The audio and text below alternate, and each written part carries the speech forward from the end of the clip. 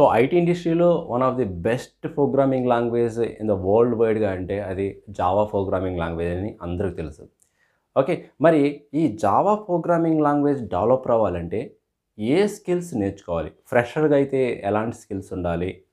Okay and up to three years of experience క్యాండిడేట్కి అయితే ఎలాంటి స్కిల్స్ని ఐటీ ఇండస్ట్రీ అనేది ఎక్స్పెక్ట్ చేస్తుంది? ఓకే? నేను ఒక సక్సెస్ఫుల్ జావా డెవలపర్ అవ్వాలంటే నేను నాకు ఏ టాపిక్స్ తెలిసి ఉండాలి అసలు నేను జావా డెవలపర్ అంటే ఏ స్కిల్స్ నాకు తెలిసి ఉండాలి అనేది చాలామందికి ఉన్న డౌట్. ఓకే? సో అందువల్ల నేనైతే ఈ వీడియోలో so how to become a a successful Java developer or how to become a Java developer అనేది ఈ తెలుగు వర్షన్లో అయితే నేను వీడియో అయితే చేయబోతున్నాను. ఒక మెయిన్ అడ్వాంటేజ్ కూడా ఉందండి. ఎవరైతే జావా ప్రోగ్రామింగ్ లాంగ్వేజ్ నేర్చుకుంటారో వాళ్ళు ఐటీ ఇండస్ట్రీలో ఏ టెక్నాలజీకైనా ఈజీగా స్విచ్ అవ్వచ్చు అండ్ ఏ టెక్నాలజీ అయినా ఈజీగా నేర్చుకోగలుగుతారు. వన్స్ మీరు వన్స్ మీకు జావా ఫండమెంటల్స్ కాన్సెప్ట్ తెలిసాయంటే మీరు ఎలాంటి టెక్నాలజీ అయినా ఈజీగా నేర్చుకోవచ్చు అండ్ ఈజీగా మీరు సర్వైవ్ కూడా అవ్వచ్చు. అంత అడ్వాంటేజ్ ఉందండి. వన్స్ మీరు జావా ప్రోగ్రామింగ్ లాంగ్వేజ్ కానీ నేర్చుకుంటే. మరి జావా ప్రోగ్రామింగ్ లాంగ్వేజ్ నేర్చుకోవాలంటే నాకు ఏదన్నా ప్రీవియస్గా ఏదైనా ప్రోగ్రామింగ్ లాంగ్వేజ్ నేర్చుకోవాలా? ఆర్ నేను డైరెక్ట్గా జావా ప్రోగ్రామింగ్ లాంగ్వేజ్ నేర్చుకోవచ్చు అని కొంతమందికి డౌట్ ఉంటుంది. సో ఎవరైతే కంప్యూటర్ సైన్స్ బ్యాక్గ్రౌండ్ క్యాండిడేట్ ఉంటారో అంటే ఎవరైనా ఎంసీఏ కానీ MTech or BTech or BSc okay already వాళ్ళ ఎడ్యుకేషన్ అకాడమిక్లో కానీ మీకు ఆల్రెడీ నేర్చుకున్న వాళ్ళకైతే మీరు డైరెక్ట్గా జావా ప్రోగ్రామింగ్ లాంగ్వేజ్ కోర్స్ నేర్చుకోవచ్చు. ఇన్ కేస్ మీరు BCom or MBA or other మీరు non computer science background candidate అయితే మాత్రం ఫస్ట్ మీరు కొన్ని ఫండమెంటల్స్ తెలుసుకోవాలండి. ప్రోగ్రామింగ్ ఫండమెంటల్స్ కాన్సెప్ట్ తెలుసుకోవాలి. అందువల్ల మీరు C programming లాంగ్వేజ్ని up to arrays or functions concept వరకు మీరు నేర్చుకోవడం బెస్ట్ ఆ తర్వాత మీరు జావా ప్రోగ్రామింగ్ లాంగ్వేజ్ నేర్చుకోవడం బెస్ట్ అంటే మీరు డైరెక్ట్గా జావా ప్రోగ్రామింగ్ లాంగ్వేజ్ స్టార్ట్ చేశారంటే మాత్రం అండర్స్టాండ్ కాదు. అంటే మ్యాక్సిమం చాలా కష్టపడాల్సి వస్తుంది. అందువల్ల ఎవరైతే అసలు టెక్నికల్ పరంగా ప్రోగ్రామింగ్ పరంగా కంప్లీట్ జీరో నాలెడ్జ్ ఉంటుందో సో వాళ్ళైతే మాత్రం ఒక సి ప్రోగ్రామింగ్ లాంగ్వేజ్ని వాళ్ళైతే మాత్రం C programming language fundamentals concept నేర్చుకోండి. అది ఒక థర్టీ డేస్ పడుతుంది. నెక్స్ట్ మీరు జావా ప్రోగ్రామింగ్ లాంగ్వేజ్ అయితే స్టార్ట్ చేసుకోవచ్చు. ఓకే? అయితే ఇప్పుడు మనం మెయిన్ టాపిక్లోకి వద్దాము. అసలు జావా డెవలపర్ అవ్వాలంటే ఏ స్కిల్స్ నేర్చుకోవాలి? ఎగ్జాంపుల్ అయితే జావా కాన్సెప్ట్స్ ఎంతవరకు నేర్చుకోవాలి? అదే ఎక్స్పీరియన్స్ ప్రొఫెషనల్ అయితే జావా కాన్సెప్ట్స్ ఎంతవరకు నేర్చుకోవాలనేది మనం కంటిన్యూ చేద్దాం. సో మీరు కానీ ఫ్రెషర్గా ట్రై చేస్తుంటే జావా కోర్స్ నేర్చుకోండి. అది మీరు ఫండమెంటల్స్ జావా నేర్చుకుంటే సరిపోతుంది. అంటే కోర్ జావా వరకు నేర్చుకుంటే సరిపోతుంది. ఓకే సో కోర్ జావా అంటే మీకు ఏ కాన్సెప్ట్స్ కవర్ చేస్తారంటే మీరు ఫస్ట్ బేసిక్స్ సింటాక్స్ నేర్చుకోవాలి ఫండమెంటల్స్ కాన్సెప్ట్. నెక్స్ట్ మీకు నెక్స్ట్ మీకు డేటా టైప్స్ నేర్పిస్తారు okay control statements if if else నేర్పిస్తారు అండ్ లూపింగ్ స్టేట్మెంట్స్ నేర్పిస్తారు లైక్ వైల్ డూ వైల్ నేర్పిస్తారు. Next strings concept and collections concept multi threading okay and input output streams and object oriented principles concept ఇది చాలా important అండి. ఎవరికైనా సరే ఫ్రెషర్స్కైనా experience పీపుల్కైనా ఆబ్జెక్ట్ ఓరియంటెడ్ కాన్సెప్ట్స్ అంటే లైక్ um, క్లాస్ అని ఆబ్జెక్ట్ అని ఓకే ఇన్హెరిటెన్స్ అని పాలిమార్ఫిజం అని ఎన్క్యాప్సులేషన్ అని ఓకే అబ్స్ట్రాక్షన్ అని ఇలాగా మెయిన్ ఫీచర్స్ అయితే ఉన్నాయి. ఓకే వాటిని అయితే పర్ఫెక్ట్గా నేర్చుకోవాలి. వి ఈ కాన్సెప్ట్స్తో పాటు లేటెస్ట్గా జావా ఎయిట్ వర్షన్ ఉందండి. జావా ఎయిట్ వర్షన్ కూడా కంపల్సరీ నవేడేస్ ఎందుకంటే ఇప్పుడు ప్రజెంట్ ఐటీ మార్కెట్లో మ్యాక్సిమం ఆఫ్ ది ప్రాజెక్ట్స్ మీరు ఇంప్లిమెంట్ చేస్తుంది జావా ఎయిట్ వర్షన్ అండి. సో జావా ఎయిట్ వర్షన్లో ల్యాండా ఎక్స్ప్రెషన్స్ అని జావా స్ట్రీమ్స్ ఏపీఐ అని okay and some improvement for each methods use చేయడం ఓకే అండ్ ఫంక్షనల్ ఇంటర్ఫేస్ అని ఇలా కొన్ని కాన్సెప్ట్స్ ఉన్నాయి. వాటిని కూడా మీరు ప్రిపేర్ అవ్వాలి.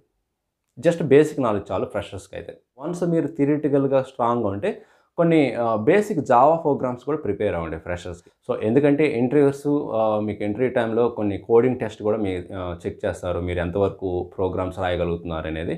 సో అందువల్ల మీరు థిరిటికల్ వన్స్ మీరు కంఫర్టబుల్ అయిన తర్వాత కొన్ని ప్రోగ్రామ్స్ బేసిక్ జావా ప్రోగ్రామ్స్ కూడా నేర్చుకోండి.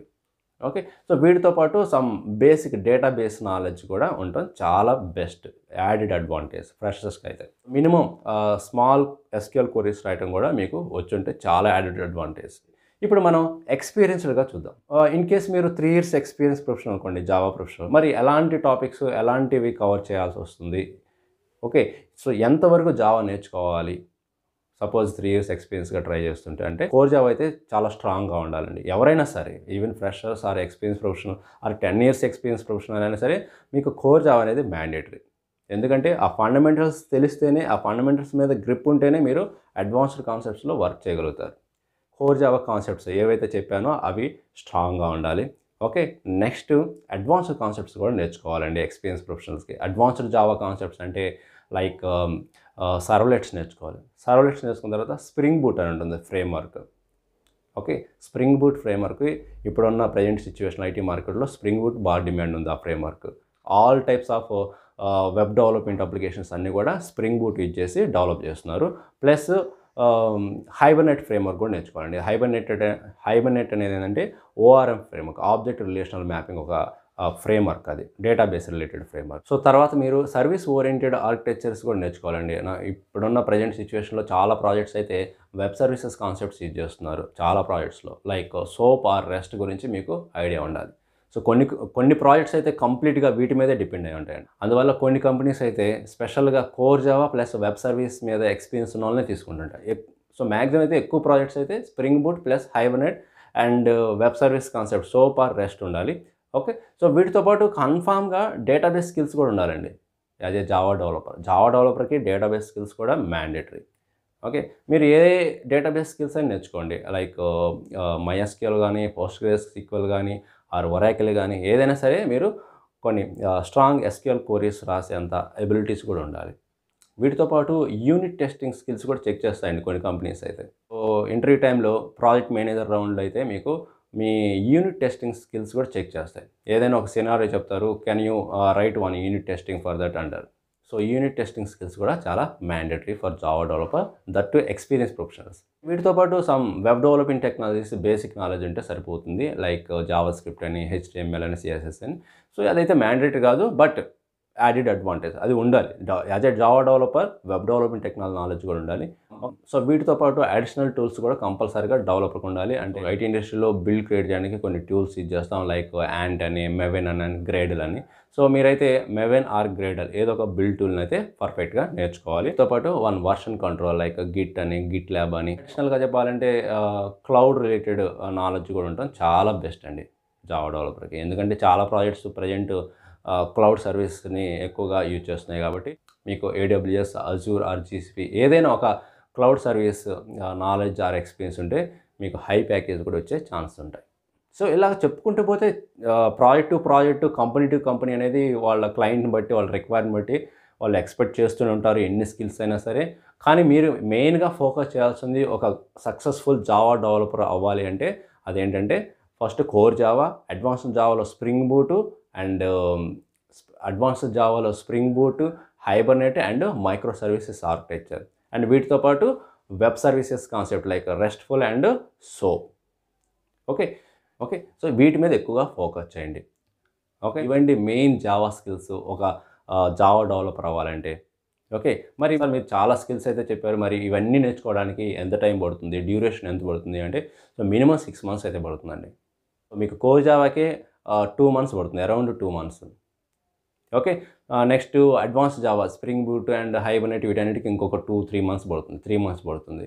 ఓకే అండ్ ఈ అడిషనల్స్ అన్నీ కూడా ప్యారల్గా మీరు నేర్చుకోవచ్చు లైక్ మెవెన్ అని గ్రేడల్ అని ఓకే లైక్ యూనిట్ టెస్టింగ్ అని ఓకే అండ్ గిట్ అని ఇవన్నీ అడిషనల్గా మీరు ఒక వన్ మంత్లోనే అన్ని నేర్చుకోవచ్చు ఆ ప్యారల్గా అయినా నేర్చుకోవచ్చు.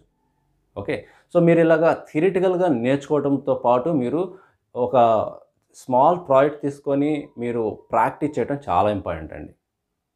ఎవరైతే సో ఇది ఫ్రెషర్కి అయితే అంత అవసరం లేదు. కానీ ఎవరైతే three years experience and four years experience real time candidates ఉంటారో వాళ్ళకైతే కన్ఫామ్గా ఒక ప్రాజెక్ట్ని ఇంప్లిమెంట్ చేయడం ట్రై చేయండి. కన్ఫామ్గా ఒక ప్రాజెక్ట్ని ఇంప్లిమెంట్ చేయండి. ఒక స్టూడెంట్ ప్రాజెక్ట్ తీసుకోండి చిన్న ప్రాజెక్టు. దాన్ని ఇంప్లిమెంట్ చేయడం ట్రై చేయండి. ఓకే ఎప్పుడైతే మీరు సబ్జెక్ట్లో కాన్ఫిడెంట్గా ఉంటారో ఆటోమేటిక్గా మీరు ప్యాకేజ్ కూడా ఎక్కువ అడగవచ్చు డిమాండ్ చేయొచ్చు మీరు. Okay so three years experience క్యాండ్కి యావరేజ్గా salary eight to nine lakhs or ten lakhs expect చేయొచ్చు. అదే ఇంకా ప్రౌడ్ బేస్డ్ కంపెనీస్ అయితే up to twelve or fourteen lakhs three years experience క్యాండిడేట్కి okay అది కంపెనీ టు కంపెనీ చేంజ్ ఉంటుందండి salary ఇచ్చేది and location wise ఉంటుంది and మీ స్కిల్స్ని బట్టి కూడా ఉంటుంది. మీరు మీరు సబ్జెక్ట్లో స్ట్రాంగ్ ఉండి మీరు కోడింగ్ ప్రాబ్లమ్ సాల్వింగ్ స్కిల్స్లో స్ట్రాంగ్గా ఉంటే మీరు ఎంతైనా డిమాండ్ చేయొచ్చు. మీరు రియల్ టైం ప్రాబ్లమ్స్ని సాల్వ్ చేసే పర్సన్గా కానీ మీరు కానీ రెడీగా ఉన్నారంటే కంపెనీస్ ఎంతైనా పే చేస్తాయండి. ఒక్క మాటలో చెప్పాలండి ఈ జావా డెవలపర్కి ఫ్యూచర్ ఎలా ఉంటుంది కెరీర్ గ్రోత్ ఎలా ఉంటుంది అని చాలామందికి ఒకవేళ డౌట్ ఉంటే దానికైతే అసలు ఏం డౌట్ అవసరం లేదండి. మేము ఆల్రెడీ వీడియో స్టార్టింగ్లో చెప్పాను. ఎవరైతే జావా డెవలపర్ నేర్చుకుంటారో వాళ్ళు ఎలాంటి జాబ్ అయినా ఐటీ ఇండస్ట్రీలో సాఫ్ట్వేర్ ఇండస్ట్రీలో ఎలాంటి జాబ్ అయినా చేయగలుగుతారు. దేనికైనా స్విచ్ అవుతారు. మీరు బిగ్ డేటా డెవలపర్ అవ్వచ్చు క్లౌడ్ ఇంజనీర్ అవ్వచ్చు ఆర్ సేల్స్ ఫోర్స్ డెవలపర్ అవ్వచ్చు సేల్స్ ఫోర్స్ ఆర్కిటెక్ట్ అవ్వచ్చు బిగ్ డేటా ఆర్కిటెక్ట్ అవ్వచ్చు బిగ్ డేటా ఆర్కిటెక్ట్ అవ్వచ్చు డేటా ఇంజనీర్ అవ్వచ్చు. అది మీ ఇంట్రెస్ట్ని బట్టి మీరు ఎలాంటి ఐటీ జాబ్కైనా సరే eligible person who knows Java skills strongly okay? So that's all guys mind so మీకు కూడా ఈ వీడియో ఇన్ఫర్మేటివ్ వీడియో అనిపిస్తే మర్చిపోకుండా లైక్ బటన్ హిట్ చేయండి. ఇంకొక మంచి కంటెంట్తో మళ్ళీ కలుద్దాం. Thank you very much